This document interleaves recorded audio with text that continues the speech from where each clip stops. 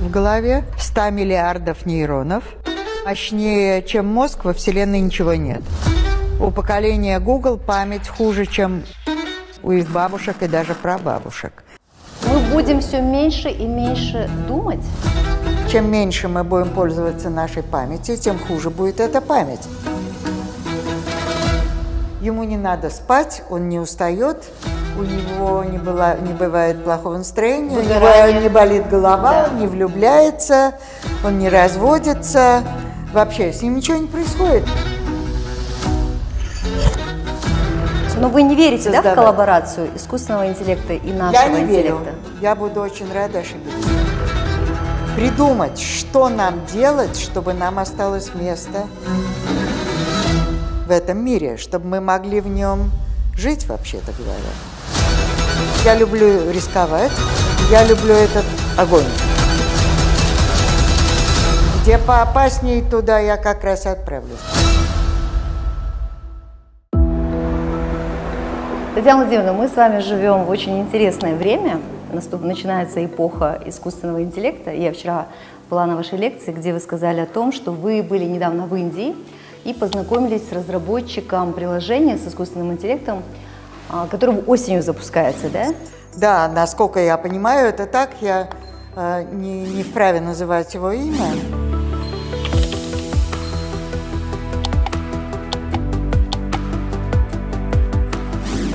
А, вот, равно как и название той сети, которая, когда появится, вот у нее определенное имя будет.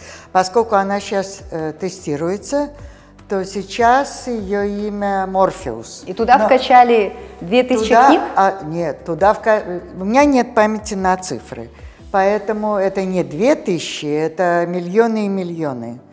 Э, Это нейронная сеть, или как профессионалы нежно говорят, сетка. Вот эта сетка, она, ее особенность заключается в том, что она не выходит в интернет. Это специально э, а, авторы так сделали, что она должна быть автономной.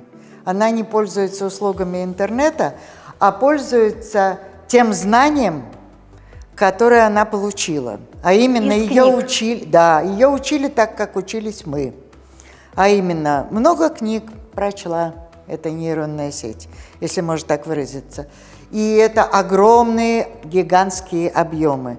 И таким образом, если я, конечно, правильно рассказываю, если вот он, например, сейчас нас услышит, может, он скажет, вы все не так поняли. Это может быть, потому что все-таки это не моя специальность.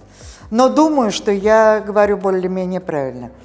А, э, Что она, это лингвистическая сеть, поскольку она ела буквы, э, вот, и она, э, она должна пользоваться тем багажом, который у нее есть. То есть у нее есть интеллект. У нее, разумеется, есть интеллект. Вопрос опасность не в наличии интеллекта, потому что интеллект, ну, они и делаются как интеллект, так что тут удивляться нечему. А вот чего стоит опасаться и что подозревают, в том числе и в этой сети, это нет ли там сознания. И не является ли эта сеть личностью. И вот это я вижу как очень большую и серьезную угрозу, и это не только я. Так что это не то, что я проявляю такой алармизм, знаете, и всех пугаю, а этого пугаются сами разработчики, что они и не скрывают. И, и это нас пугает еще больше. Понимаете, потому что если разработчики этих сетей, вот эти вот э, чат GPT. GPT, их, их же варианты, она Да, да, не да, одна. А, Если сами разработчики говорят, во-первых, эти монстры стали учиться очень быстро.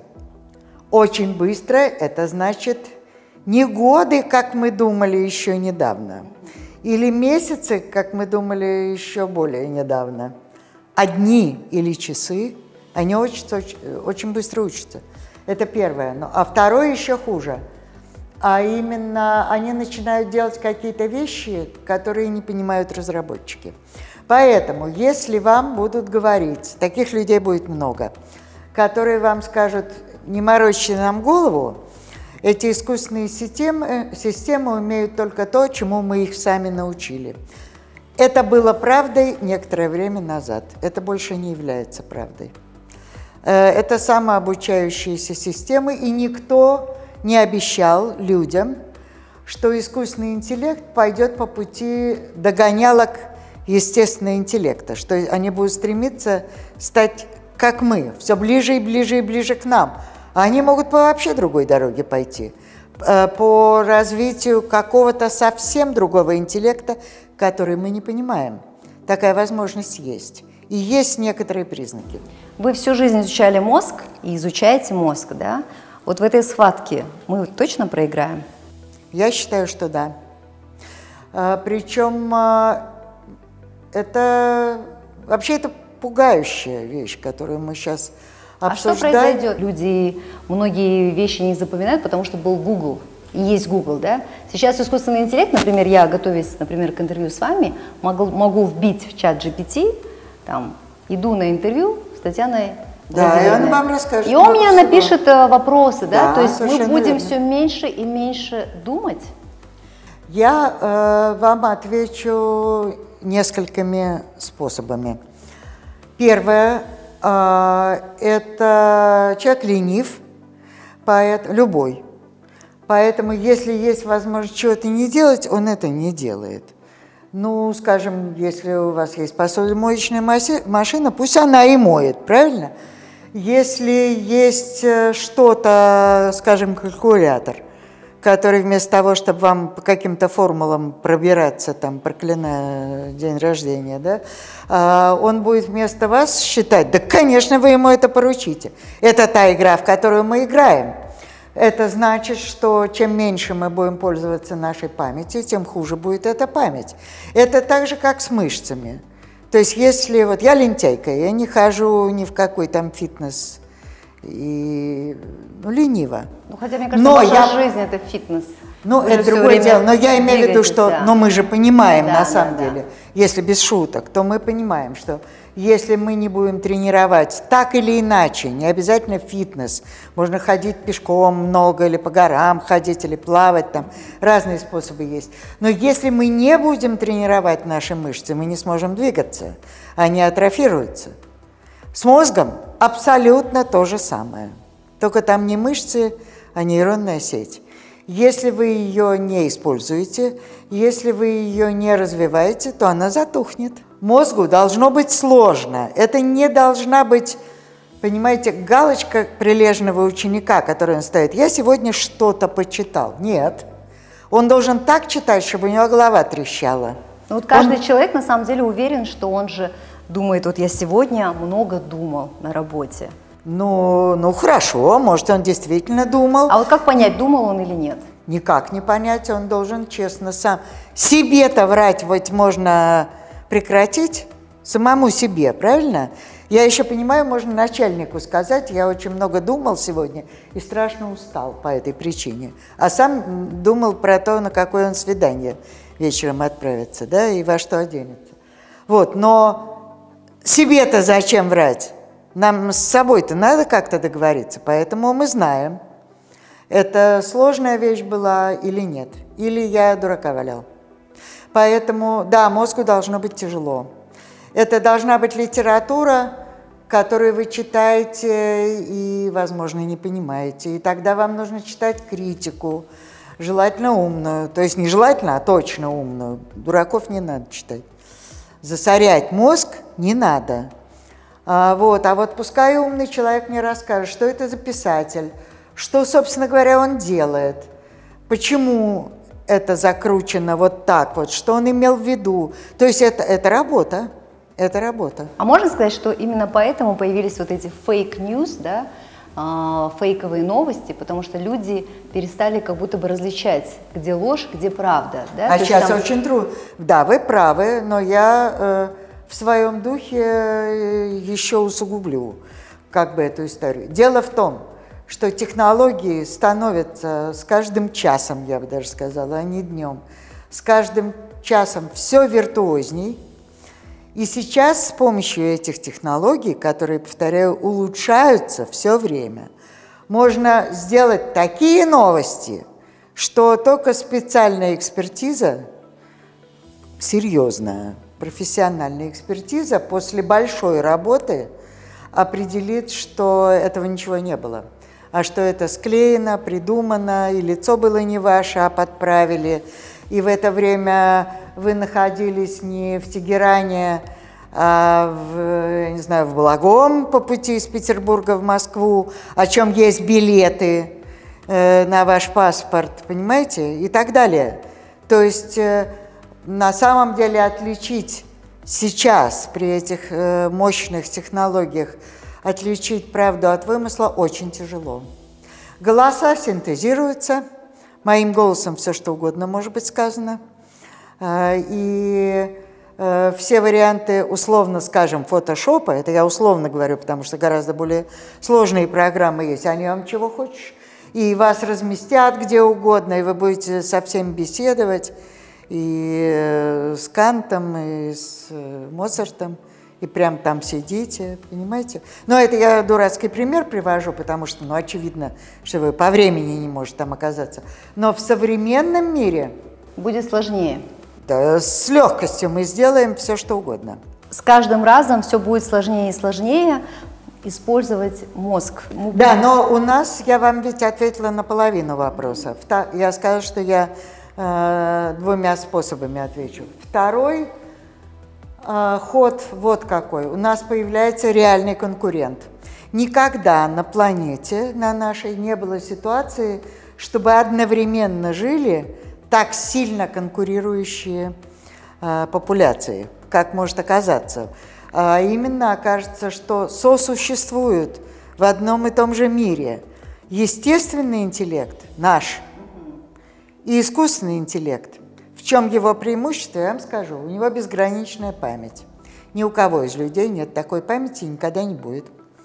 Ему не надо спать, он не устает, у него не, было, не бывает плохого настроения, Выгорание. у него не болит голова, да. не влюбляется, он не разводится. Вообще с ним ничего не происходит. Он, он не работает спит, 24 на 7, да? Он не спит никогда. Э, он, э, у него не меняются эмоции. У него нет ситуации, когда с этим человеком я готов говорить, этого я ненавижу. Этого ничего нет. Мы не можем выигрывать такую конкуренцию. И его мощь растет с огромной скоростью. Что нам делать? Мы не хотим проиграть. Нам опомниться и отвоевать себе место в этом мире. Не поддаваться на провокацию. Я не хочу делать тяжелую ментальную работу, потому что есть кому ее делать. А ты, если не секрет, чем собираешься заниматься в освободившееся время? Вот хотела бы я узнать. Вот все эти люди, которые говорят, искусственный интеллект за нас будет делать сложную работу. А вы-то в это время что будете делать, я хочу узнать. Когда мне говорят, а таких людей много, что а вот освобожденный от этого тяжелого физического и умственного труда человек, он будет заниматься э, креативной деятельностью. Вот он творческий будет.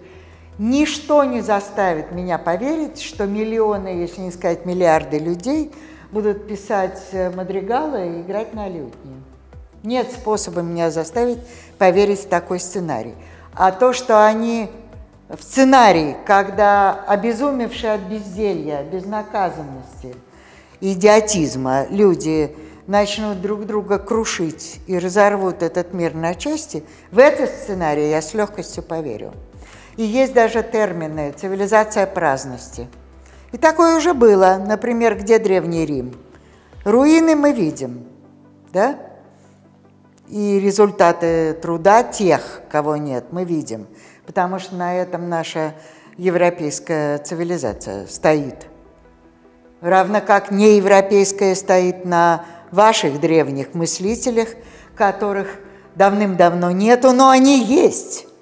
Они есть гораздо больше, чем те, которые этот мир покинули полгода назад, да. потому что они создали великую цивилизацию.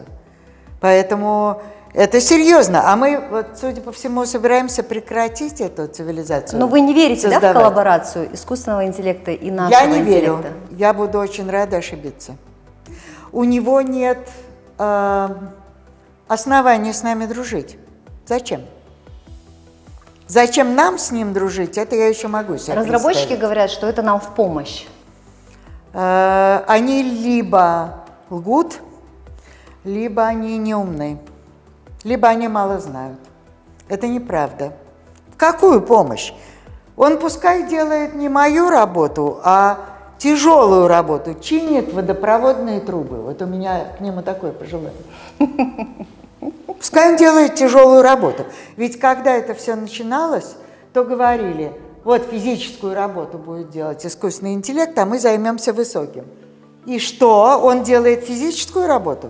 Нет, он работает с бигдейта. Правильно? И слава богу, потому что люди этого не могут делать. Но не может ни один человек работать с гигантскими базами данных. Я просто хочу этим сказать, что есть масса областей, где его заменить нельзя, потому что люди этого делать не могут. Но мы-то делаем следующий шаг, а вот это зря.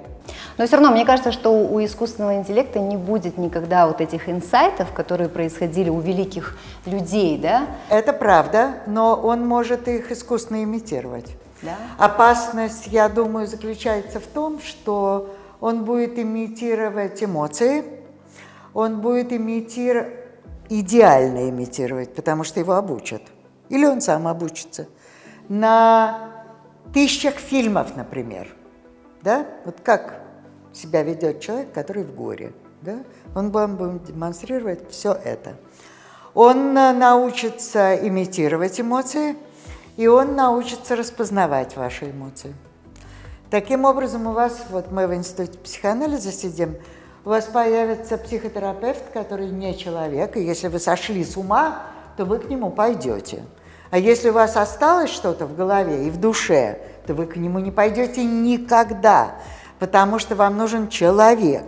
Вам не нужна идеальная программа, которая хорошо выучила учебник. Она вам не нужна.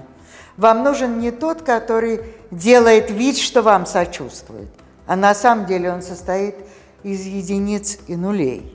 Он программа, он просто программа. Вы собираетесь советоваться с программой? Понимаете, я, я вижу опасности, реальные опасности. А для нас я вижу только один рецепт – опомниться как можно скорее и придумать лучшими умами человечества, придумать, что нам делать, чтобы нам осталось место в этом мире, чтобы мы могли в нем жить, вообще-то говоря.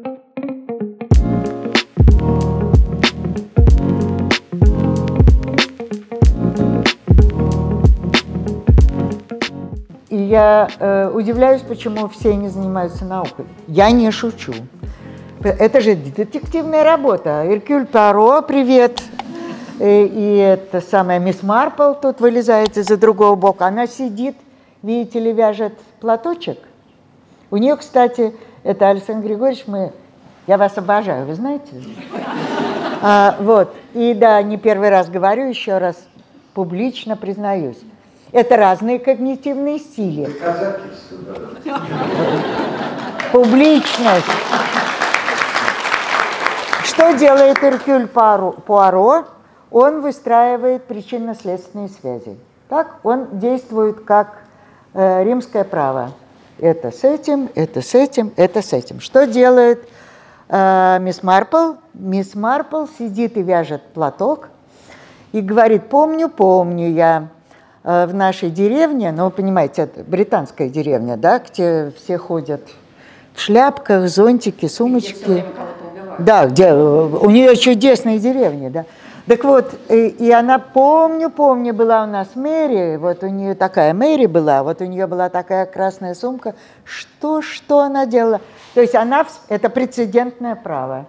Она вспоминает гештальты, она, она э, из памяти это вынимает, она не вычисляет ничего, она вспоминает. А, но ведь это в любом случае и то, и это детектив. Научная работа – это детективное дело. Ты сначала собираешь компромат, сколько можешь. Желательно как можно более подробно и побольше. После этого садишься и думаешь, что бы это могло значить. Как может надоесть такая работа, я не знаю. Поэтому я удивляюсь, почему все туда не идут. Кроме того, если это идти вот в нашу, в широком смысле нашу область, неважно, как мы ее назовем, э, но вот мы называем когнитивная наука, то есть все вокруг этого, включая, кстати, искусственный интеллект, там же и психология, там же и лингвистика, там же и философия, там много всякого. Мир больше не делится на отдельные области знаний. Э, и что должен знать человек, который занимается такого рода вещами? Он должен знать все вышеперечисленное, в том числе э, понимать, э, что такое искусство, и много видеть, и это наводит на интересные мысли, и знать про животных, хотя не занимаешься животными, и читать философские трактаты, много чего. И если, предположим, предположим, я решила, предположим, я закончила школу и решила, что меня интересует, как маленькие дети а, э, усваивают человеческий язык. Кстати говоря, одна из очень больших загадок, это любой серьезный профессионал скажет, потому что те э, наивные ученые, которые считают это потому, что он получает input по-нашему, да, очень много слышит, слышит, он не диктофон. Вот что ребенок не, так это он не диктофон. Если бы э, э, э, усвоение языка определялось количеством этой вербальной информации, которая к нему попадает, он бы этот язык изучал там лет 120, к примеру. То есть недостаточный input. Более того, испорченный input, потому что устная речь из, у любого самого грамотного человека изобилует ошибками. Э, э, а ребенок, не ребенок, а его мозг, умудряется из этого хаотического и в том числе испорченного импута вывести не что-нибудь, а законы языка, которые здесь пишутся и с помощью которых любой здоровый ребенок Земли через очень короткое время говорит. Так вот, если бы я задумала этим заниматься, что я должна была бы знать? Я должна была бы знать физиологию ребенка, разумеется, и мозга в частности. Я должна бы знать э, психологию ребенка, я должна была бы знать довольно много про развитие ребенка как в утробе материнской, и что он мог узнать, сидя там, например, слышит ли он материнский голос, воспринимает ли он мелодии, ну, не будем продолжать, понятно, что это большой список. Я должна была бы знать лингвистику, потому что иначе я не пойму, что происходит с этим языком, который он, что он делает-то, и так далее. И, возможно, я должна была бы уметь, даже невозможно, а точно, я должна была бы кое-что уметь из обучения нейронных сетей, потому что в части таких работ моделируется на искусственном носителе, э, правильно ли мы понимаем, что делает ребенок, когда он усваивает эти правила. То есть нейронные сети скармливаются – нечто, и потом смотрит, а она что сделала? Она делает так, как ребенок или нет? Мы это делаем в наивной надежде, что тем самым мы ответим на вопрос, как это делает ребенок. Ну, пианист играет как может, так сказать. Что умеем, то делаем. Итого, для, э, скажем, этой темы я должна много разного знать. Татьяна Владимировна, вы 20 лет проработали, да, в психиатрической больнице? Ну, примерно, да. Примерно. примерно. Но туда же не попадают с рождения. Ну, в редких случаях, когда человек родился с каким-то диагнозом, да, в основном это все-таки приобретенное заболевание. Или заболевания, которые ждали своего часа, потому что очень много ДНК, а, психических да? заболеваний генетической основы. И тогда я не врач, сразу всем хочу сказать но довольно много, как мне кажется, знаю про это. А, и, но врачи, которые бы здесь были, психиатры, они бы сказали, очень часто шизофрения начинает, например, шизофрения, начинает проявляться э, в позднем подростковом возрасте или э, там 18, 19, 20 лет, 21, 22. А до этого был веселый симпатичный, очаровательный человек, которому мир нравился, он всех радовал, и все потом щелк и поехал. А вот что, что приводит к психическим расстройствам, вот по вашим наблюдениям? Я думаю, что генетика. Генетика все-таки, да? Но не я врач, который э, имеет э, право на этот вопрос всерьез отвечать. Это мое впечатление такое. К, ну, ну, мы сейчас уедем в область э, лекций, чего мы не должны делать. Но есть, скажем, ну, любой врач, который бы здесь сейчас сидел, он бы сказал, скажем, депрессия, например. Депрессия есть эндогенная и экзогенная. Экзогенная – это та, которая э, вызвана событиями реальной жизни. У этого человека, я не знаю, все погибли на войне. Чего ему не впасть в депрессию-то? А здесь было бы странно, если бы он э, э, оказался вне влияния этого кошмара, который вокруг него. Но есть экзогенная депрессия, которая не вызвана никакими внешними событиями. А он либо придумывает себе, он говорит, вот чашка не так стояла, и теперь жить я не хочу. Но ну, вы же понимаете, что это другая история. И вот это, я думаю, это гены. Но э, врачи меня бы сейчас э, осудили. Они бы сказали, это гораздо более сложно. Я сама знаю, что это гораздо более сложно. А что происходит в голове, когда у человека панические атаки, депрессия, когда он... Нейрон, это сбой нейронный реальный, не, не искусственный, о которых мы в первой половине говорили, а реальной, живой нейронной сети. Сбой ее работы. Она неправильно работать стала. Вот это и происходит. И в зависимости от того, какой это сбой, он может либо впасть в маниакальное состояние и хотеть, как некоторые бывшие герои нашей э, истории, э, мировой, мировую революцию побыстрее начать на планете. Это чисто маниакальное состояние. Либо, наоборот, впасть в вселенскую тоску. И это много факторов, понимаете, здесь эндокринная, здесь химия, конечно, есть какая, я не знаю, условно говоря, соотношение там серотонина и дофамина. Но это я так пальцем в небо говорю. То есть здесь много факторов, поскольку, когда мы говорим о мозге, мы говорим о самом сложном из всего, что мы знаем во Вселенной, то ждать, что там будут простые ходы, просто глупо. А что тогда отличает мозг счастливого человека, успешного человека, от мозга несчастного человека, который в депрессии, который ничего не хочет и э, в негативе ну, живет? На этот э, вопрос не хотелось бы так примитивно отвечать, но вынуждена так отвечать. Да, вот у него в том числе и химия в мозгу изменилась, которая проявляется в поведении. Почему я... Это один из возможных ответов. Почему я выбрала этот ответ? Потому что если бы не так, то тогда э, антидепрессанты, э, транквилизаторы, там, раз, там же много лекарств такого сорта, они бы не действовали. Раз они действуют, они действуют на э, химию. Значит, этот фактор есть. А если человек поменяет поведение свое, да, условно он находился в депрессии, но его родные вытаскивают да, из этого состояния, его, там, он едет путешествовать, да, он меняет обстановку, меняет общение, меняет окружение. Химия в голове у него может измениться? Она и меняется. Здесь встает вопрос один, 101 или даже 1100.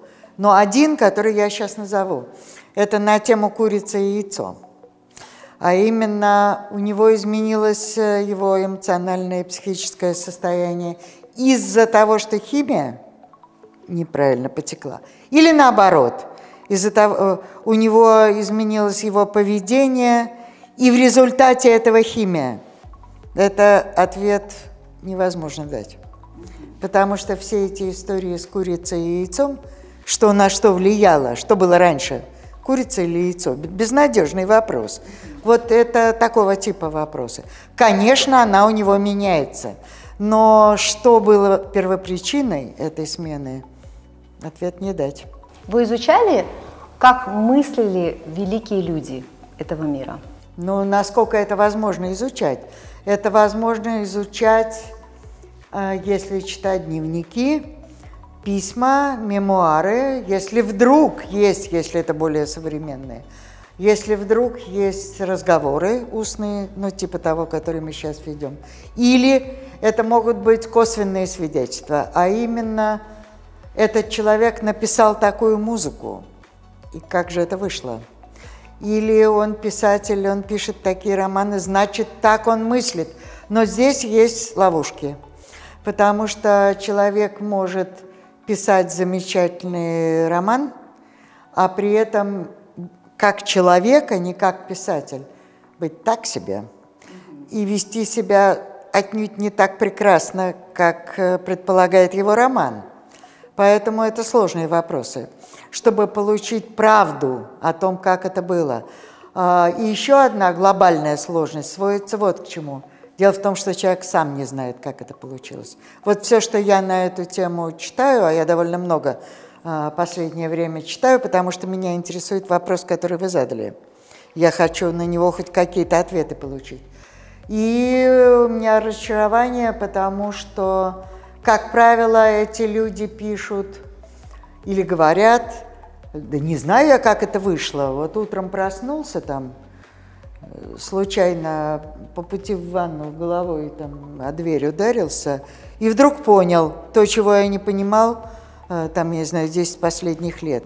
Но это, может быть, я грубый пример привела насчет именно головой ударился. То есть какое-то происходит озарение? Да, это носит, у этого есть э, термины, ну, это эврика-эффект, или по-русски это называется ага-эффект. Ага, о, вот оно, вот оно. Или по-английски, я не люблю эти слова, но это называется вау-эффект.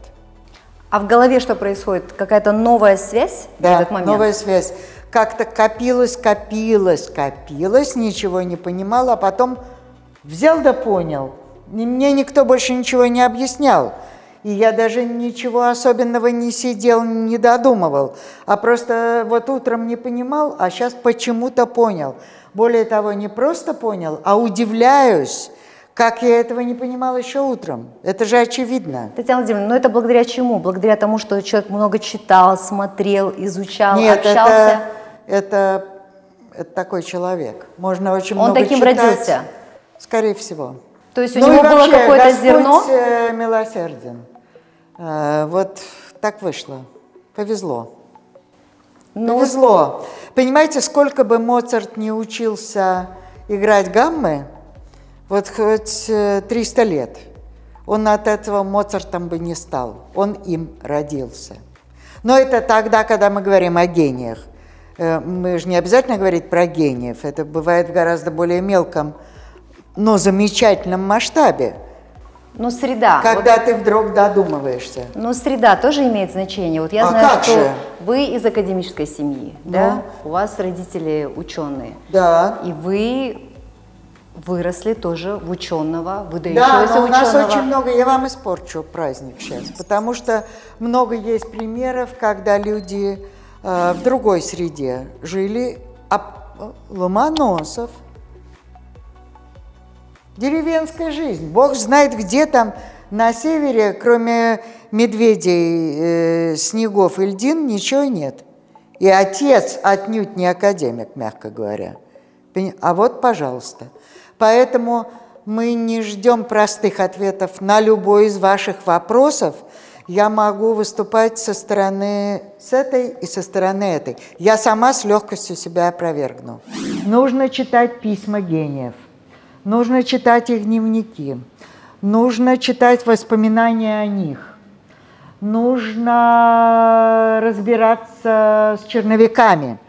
Вот скажем, ну, я думаю, все видели, я не знаю, черновики Пушкина, его рисунки и все это, но это на слуху у всех. Но мы должны смотреть, что он зачеркивал, почему он возвращался. Понимаете, это мы как бы занимаемся детективной работой, расшифровывая то, как шла их мысль, почему художник сначала так пишет, потом поверх так пишет, потом вообще это разрывает все, потом пишет еще раз так, как первый раз. Или почему это происходит? Это способ э, подглядеть, как идет мысль, которая не может быть описана алгоритмами. Если мы не сумасшедшие, мы ведь не будем, подходя к полотну Сезанна, делать химический анализ э, его э, крат. Это важная вещь для экспертов и для а, реставраторов, там, я с этим не спорю. Но это нам не отвечает на те вопросы, которые мы сейчас задаем. То есть измерение количества краски, потраченного на холст, э, или э, аналогичные э, идиотские действия, они не отвечают. Это все равно, что мы берем стихотворение Пушкина и измеряем, сколько союзов «и» было на странице.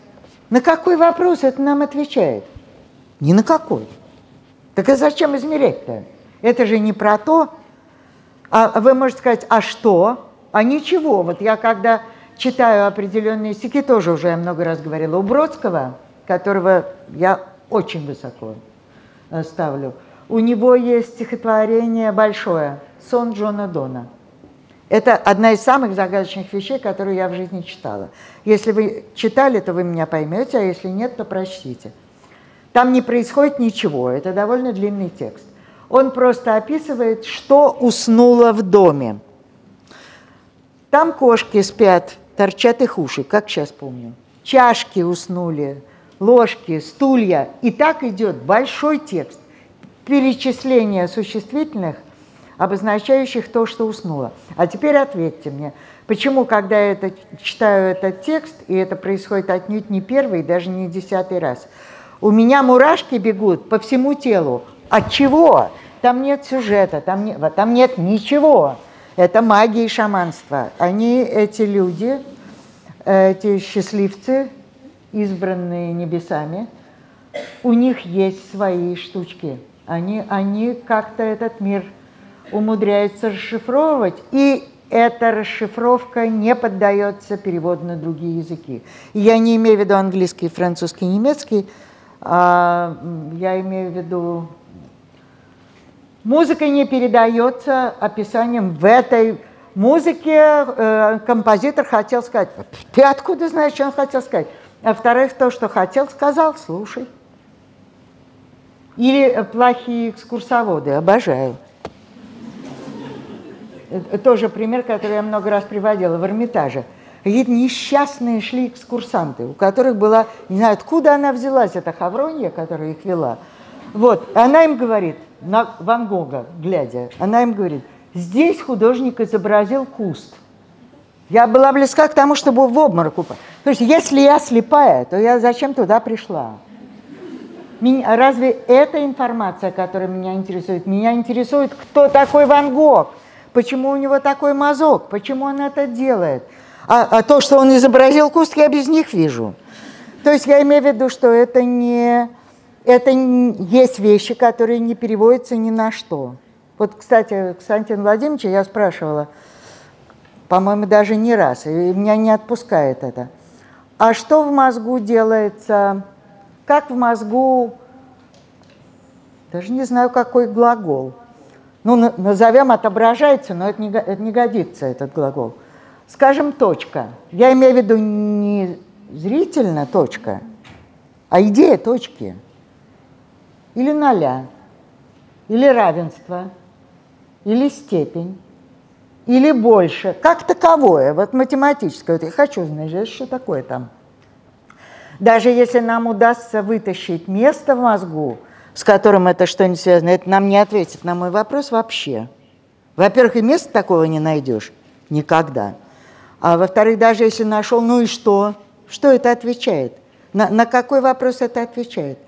И, итого, у меня а, большие проблемы, внутренние проблемы с тем, как трактовать а, данные экспериментальных наук, и это меня не только не отталкивает от э, занятий экспериментально, я очень люблю работать экспериментально. Просто жизнь заставляет, к сожалению, этим меньше заниматься. Много дел других.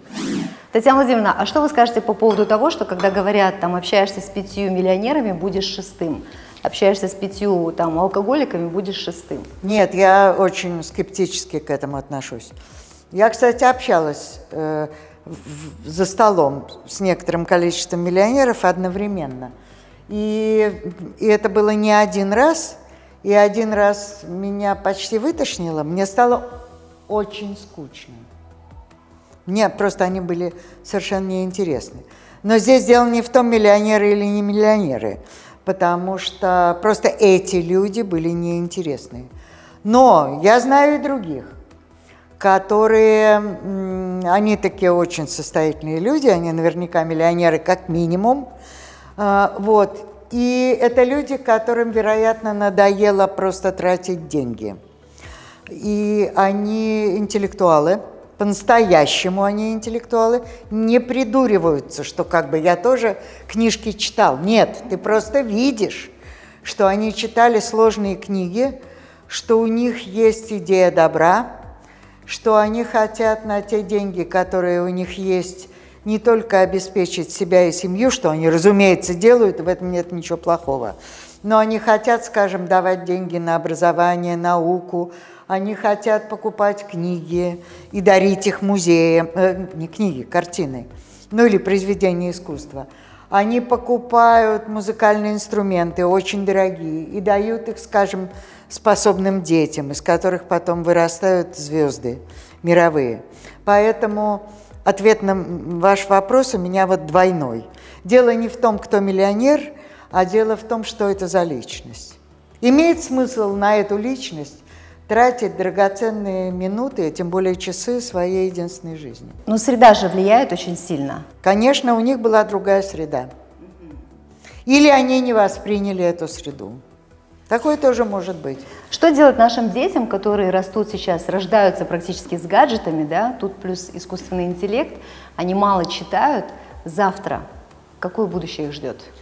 Я уверена, что и э, родители, бабушки, дедушки, тетушки, там вообще все, э, семья, они должны как-то так придумать жизнь, чтобы этим детям читать было необходимо, чтобы им самим хотелось, не потому что мама с папой говорят, вот ты мерзавец, мы уже 10 поколений как читаем, а ты ничего не читаешь. Нет, это, он сам должен рваться. Вот я помню, э, у меня есть сестра, которая младше меня э, на 10 с лишним лет, и она профессор университетской литературы, вет, американист, замечательно способная и все это. Она стала заниматься литературой по интересной причине, а именно ей надоело слушать, при том, что родители ученые, ей надоело слушать, что ты все книжки читаешь, иди займись делом.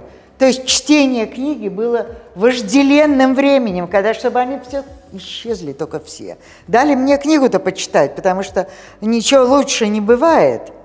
Вот Юрий Михайлович Лотман, крупнейший э, историк и теоретик литературы, и семиотик, он говорил, э, литература – это возможность прожить другие жизни – Дело не в том, что тебе расскажут завлекательный сюжет в каком-то простеньком фильме. Слушайте, мы сейчас вот наспор с вами 10 сюжетов придумаем, по ним можно будет фильм поставить. Не в этом же дело.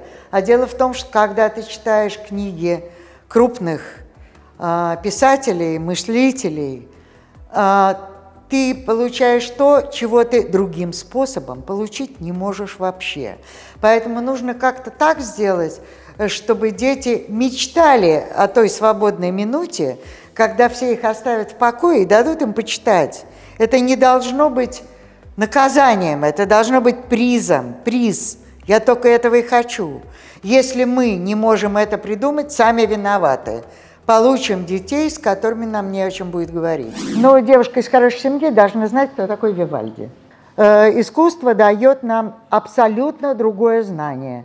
А виртуозы э, и гении, э, скажем, поэзии, они э, создают то, что без них создать нельзя. Они создают миры, которые ученому даже, вот мы, мы с вами точно помним.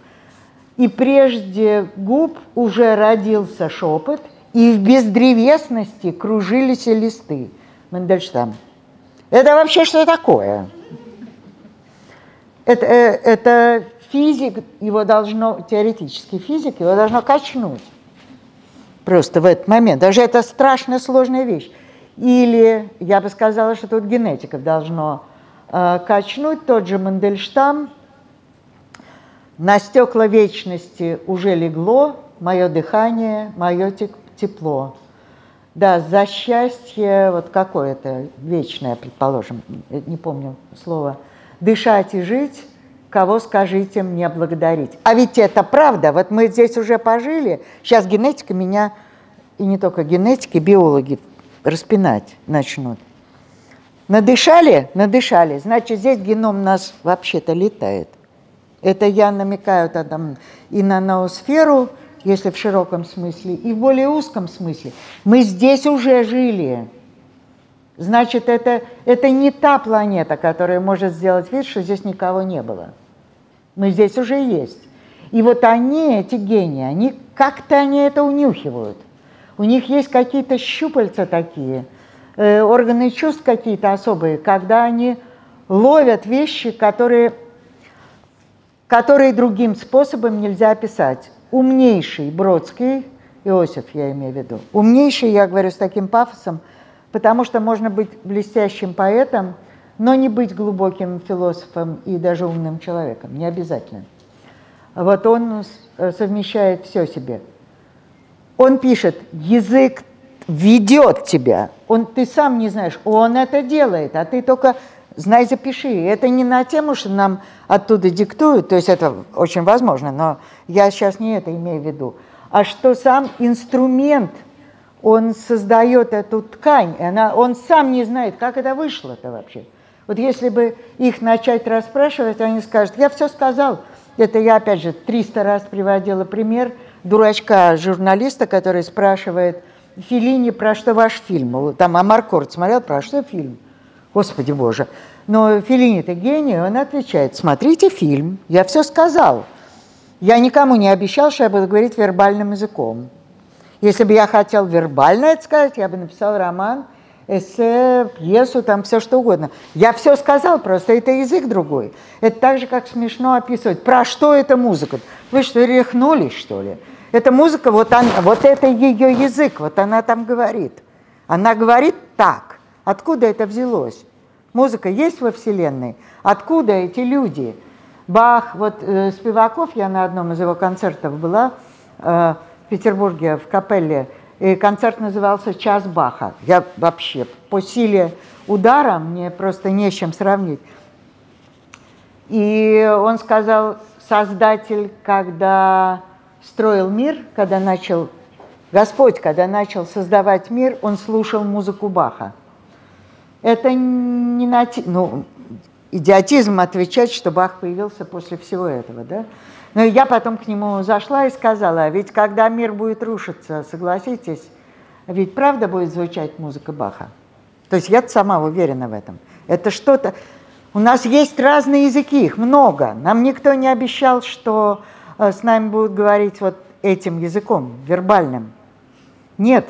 Поэтому э, э, ученый, современный ученый, который решился заниматься такими невероятными и по сложности, и по интересности вещами, о которых мы сегодня говорим, он должен быть по определению разносторонний, он много разного э, должен воспринять до этого. И математики, кстати, в том числе, потому что, ну, мы тоже уже много раз говорили, э, мозг – это математика вообще-то. И э, какая, где она, вот это точно не моего уровня а рассуждения я очень в этом не гожусь. Татьяна Владимировна, последний вопрос. Как оставаться такой живой, энергичной, легкой в вашем возрасте? Понятия не имею. Я без кокетства говорю, я не знаю. Но, но я такая, как я есть. Это все равно, У вас бывает сказать, плохое настроение? Как измени... Бывает. У меня бывает плохое настроение, но я с ним как-то быстро справляюсь. У меня не бывает затяжных э, плохих настроений, я что-нибудь нахожу себе какое-нибудь удовольствие. И мне кажется, вы любите людей еще. Я вот вчера а. наблюдала, вы никому не отказали, со всеми сфотографировались, Нет, ну это автографы есть раздали. еще профессионализм в этом. Я не могу сказать, что я люблю людей вообще. Это нет. Я люблю умных, интересных, пускай неудобных, пускай ершистых, но только не глупых. Я не переношу тупых. Я просто их не переношу. Я понимаю, что они не виноваты в этом. То есть у меня рефлексия это срабатывает, как бы. Я понимаю, что нехорошо. Но он не виноват, что он дурак. Но, но, но мне просто не нравится. Поэтому я люблю, пусть это будет опасно, интеллектуально опасно, пусть этот человек может ответить так, что он не оставит камня на камне, на камне в том, в чем я уверена, тем мне интересней. То есть я сама туда пойду. Вот на этот я люблю рисковать, и я люблю этот огонь. Поэтому где поопаснее, туда я как раз и отправлюсь. И самое главное, этот огонь есть у вас. Ну, наверное, вам виднее. Э, мне же изнутри это не видно. А это без видно. кокетства, это я Да. правду говорю. Это как продолжение вот того, что мы сейчас обсуждали. Люди не знают, как эти открытия к ним приходят, как он додумался. Также и вот на этот ваш вопрос я абсолютно честно говорю, что я не знаю. Так выходит. Спасибо, Так Татьяна. Владимировна, спасибо большое за это короткое, но очень важное для нас интервью. Спасибо большое, я вам желаю, желаю всякого успеха. И вы очаровательно красивы и быстрые умом. Спасибо. Поэтому я вам ответный даю комплимент. И видят небеса, что я говорю правду. Благодарю.